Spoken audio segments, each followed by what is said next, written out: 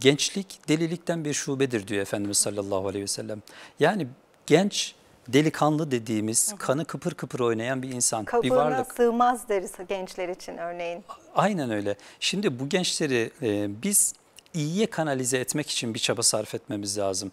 Bunun için de e, belli bir aktivite imkanları onlara sunmamız lazım. Şimdi dünya ölçeğinde gördüğümüzde çocuklarımızın, gençlerimizin bir takım problemleri olduğunu hep dile getir getiriyoruz. Hep bir takım problemler üzerinde yoğunlaşıyoruz. Aslında biz çözüm noktasında o gençlerimizi değerlendirme hususunda bir takım alternatifleri onlara ürettiğimizde ben mesela çok sorunlu olan gençler müftülüğümüze daha önce müftülük yaptığım dönemde geldiğinde ailelerle beraber gelirlerdi. Geldiklerinde ben ailelerle konuşurken hep genci şikayet ettiklerine şahit oluyordum. Ya bu genci niçin şikayet ediyorsunuz dediğimde işte ya hocam eskiden şöyleydi şimdi böyle oldu. Eskiden bu tarzda davranırdı şimdi davranışları değişti.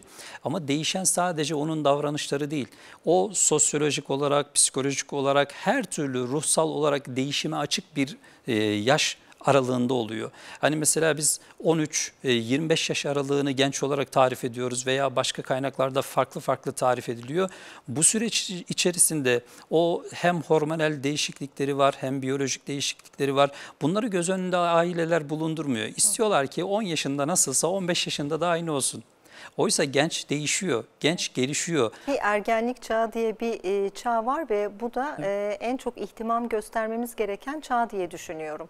Kesinlikle doğru düşünüyorsunuz. Yani o gençlerin yapmış olduğu şeyler hayatta normal bir şekilde karşılanması gerekirken, onlara alan belirlemek gerekirken biz gençlerimizi kendi başlarına bırakıp onların kendi alanlarını oluşturmalarına imkan sağlıyoruz. Aslında biz devlet kurumları olarak, aileler olarak, okullar olarak, eğitim e, ortamları olarak gençliğimize bir alan açtığımızda, onlara sosyal aktiviteler ürettiğimizde onların topluma ne kadar katıldığını, ne kadar heyecan duyduğunu, bir işi yaptıklarında ondan ne kadar keyif aldıklarını biz görüyoruz. Evet. Ben ailelerle ilgili görüşmelere gittiğimde üniversite öğrencilerinden bazılarını yanımda götürüyordum. Hı hı.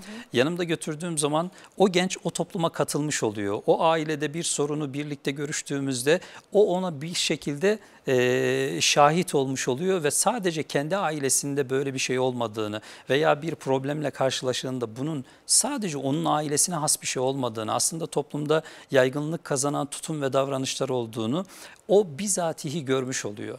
Yani burada gençlerimize rol model olacak insanları biz ön plana çıkarmamız gerekir diye düşünüyorum.